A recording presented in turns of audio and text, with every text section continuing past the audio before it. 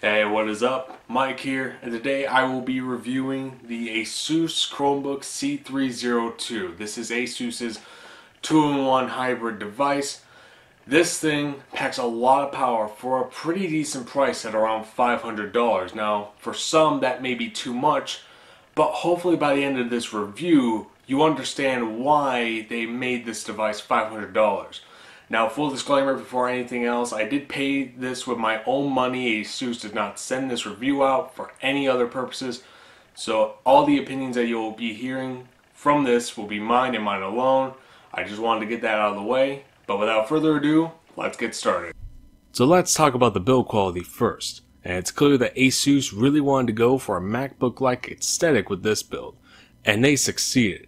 It's fully aluminum and weighing in at 2.6 pounds, this thing not only looks professional but is lightweight as well.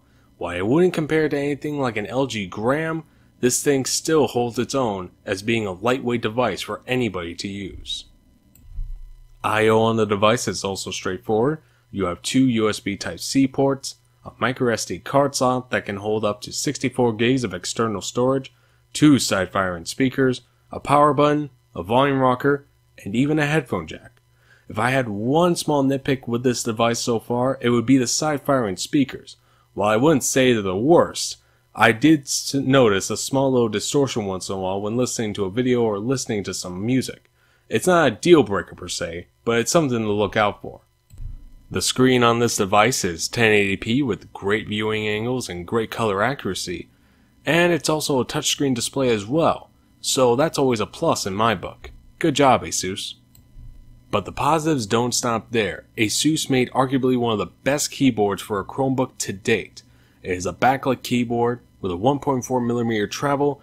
This thing is amazing. Typing on it for hours on end, I never got tired of typing on this device because it was that good of a keyboard. Although I would say that certain other review sites may say that there's too much typing involved, but I can't stop them there. Now allow me to explain the specs of this device while I do some quick little gameplay with some of the Android apps I installed on this device. It has an Intel Core M3 processor with 4GB of RAM installed and 64 gigs of internal storage with that microSD card slot can bump it up to another additional 64 gigs. And I will say that with this type of processor, this was made for Android gaming.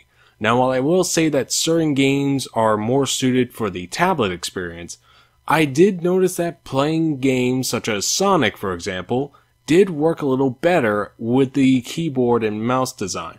Although I would say that in some instances, playing it on tablet mode would suit anyone else better. Although, just a personal preference, I'm more of a keyboard and mouse kind of guy than touchscreen. But to each their own. But now let's talk about one of the biggest selling points about this device. It's a 2-in-1 as well, so now you can also use it as a tablet in your spare time. However, in my personal experience, I didn't really feel the need to use the tablet mode all too much. While I do appreciate that there is a tablet mode installed, I only used it once or twice in my spare time when I was bored and I didn't really want to use the keyboard all too much, which was very rare of me to say because I enjoyed the keyboard that much. But still, while I do enjoy that it's there, I didn't really use it that much, so your mileage may vary, but still, it's nice to have.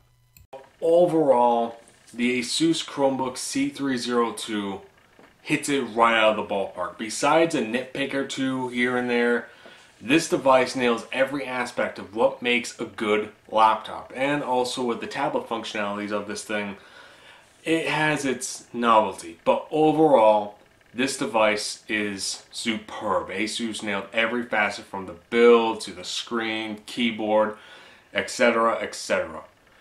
I rate this two thumbs up. Thank you guys for watching, and as always, I will see you all next time. Take care.